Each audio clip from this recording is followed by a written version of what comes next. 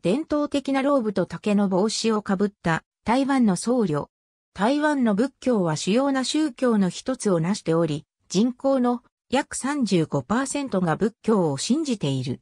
台湾人は主に大乗仏教、儒教精神、土着の慣習、道教の伝統を実践している。宗教家は仏教と道教の両方の伝統に基づき、出産や葬儀など特別な機会に役目を果たしている。一部の人口はより純粋に中国仏教の教えを実行しているが、これは他のアジアの伝統慣習を排除するものではない。台湾政府の統計においては、仏教と道教を区別しており、おおよそ同数の信徒であった。2005年の国勢調査では総人口2300万人のうち、仏教徒が800万人、道教徒が760万人であった。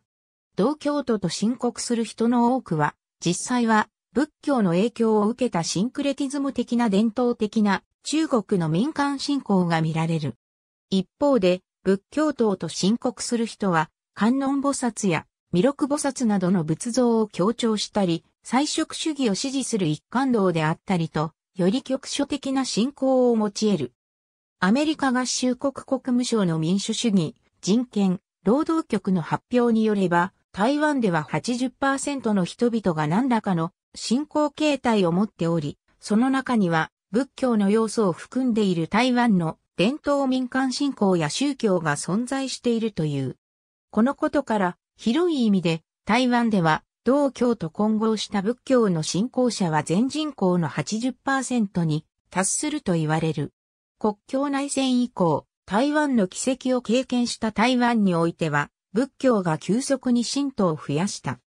これはいくつかの主要な仏教教団が自由、平等、理性といった現代的価値観をプロモートしたことが増加しつつある中産階級らの魅力を捉えたものである。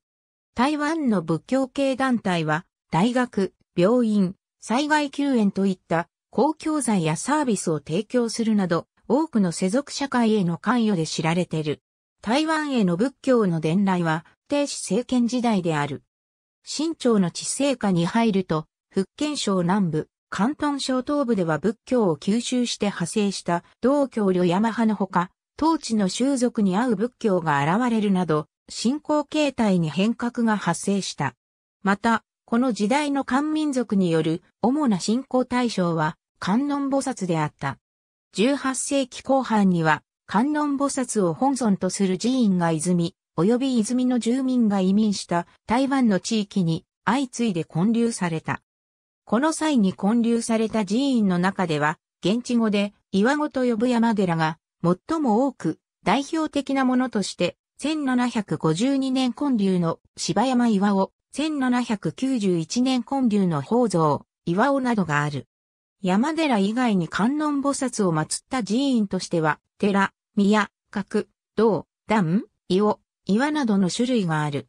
また、この当時の仏教と道教との密接な関係を示すものとして、道館が建立された際に、道教の心臓の他に、観音菩薩や釈迦も祀られている。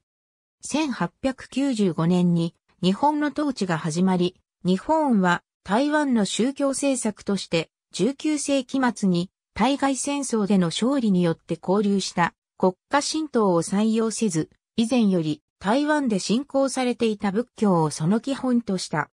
これは欧米各国の植民地政策に採用されたキリスト教を利用した宗教植民政策ではなく、宗教感化政策であり、先住民族と漢民族が多く居住する台湾であったが、その日本化は急速に進んだ。20世紀初頭に入り、日本による台湾統治が本格的に始まると、日本本土から仏教の宣教師が大量に渡来し、1945年の統治終了間際には、日本の八州14派が渡来していたが、中でも浄土真宗本願寺派の展開が目覚ましい。これは台湾の人々の信仰感情と合致していたからである。また、菩薩を主な信仰対象とする曹洞宗、日蓮宗、浄土宗も大いに展開した。例えば、曹洞宗は自費で台湾観音山の参道に33観音の石仏を設置している。こうした状況の背景には、台湾の漢民族が在留日本人と共に寺院、廟を改築し、仏像を増設するなどしたためで、各地に寺院や教会が建立された。各宗派の宣教師たちは、信者獲得競争に乗り出し、A 派の信者を B 派に転校させるなど、宗派間でいさかいが発生したこともあった。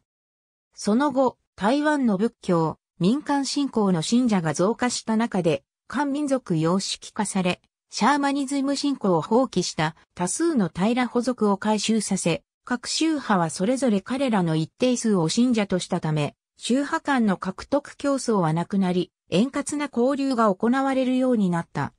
1941年の全体湾人500万人のうち、日本の仏教を信仰する者は8万人で、主に浄土真宗本願寺派、総統宗、日蓮宗、浄土宗を信仰していた。上の八宗とは、華厳宗、天台宗、真言宗、臨済宗、総統宗、浄土宗、浄土真宗、日蓮宗で、14派とは、華厳宗、天台宗、真言宗高野派、真言宗第五派、臨済宗明神寺派、総統宗、浄土宗、浄土宗西山深草派、新宗本願寺派、新宗大谷派、新宗木部派、日蓮宗、本門法華宗、あらは、本法華宗である。また、天台宗修験道も台湾に支部を置いていたが、布教活動については不詳である。地住基金会本部静止道1945年に第二次世界大戦が終わり、国民党政府が渡来した1950年代、国境内戦と中国共産党の仏教不教禁止令の影響で、大陸の仏教者が続々と渡来し定住した。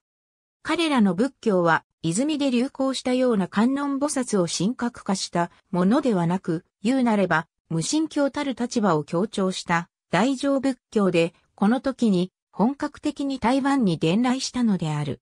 これより数十年不況の後、1980年代には、経済発展や当局による統制の緩和などの影響もあって、仏教が流行した。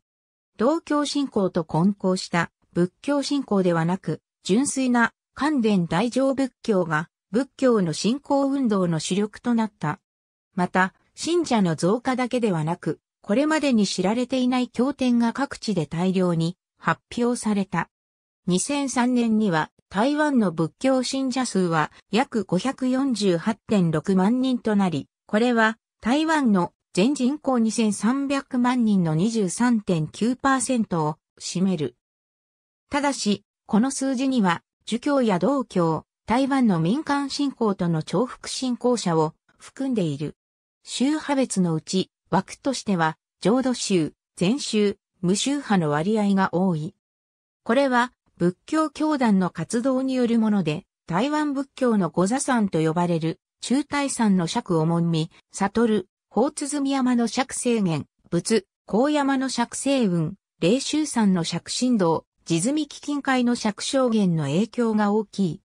この五団体はその社会を安定させる能力が肯定され、人々から傾聴されているが、組織の規模があまりにも巨大で、他の先進国で見られる現象と同様に活動が過ぎることがあり、時々世論を巻き起こすこともある。現在の台湾で活動する仏教宗派の主なものとして次の五座九杯がある。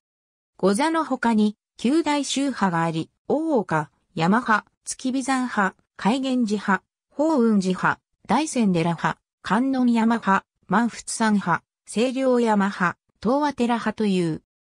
九大宗派のうち、大岡山派は、高尾市岡山町峰寺の林英帝が、月美山派は、キールン司令戦寺の高前根が、法雲寺派は、苗栗県大古法雲寺の林悟力が、観音山派は、二北市五古領雲寺の陳本園によって、日本統治時代に創設された。これらを特に四王法脈という。また、その四派の本山寺院を四大名山という。現在台湾では、日蓮小宗、浄土真宗、臨済宗、真言宗などの伝統宗派の寺院や、創価学会、霊友会、立正厚生会、新女園、アゴン宗などの仏教系新宗教の拠点が存在する。ありがとうございます。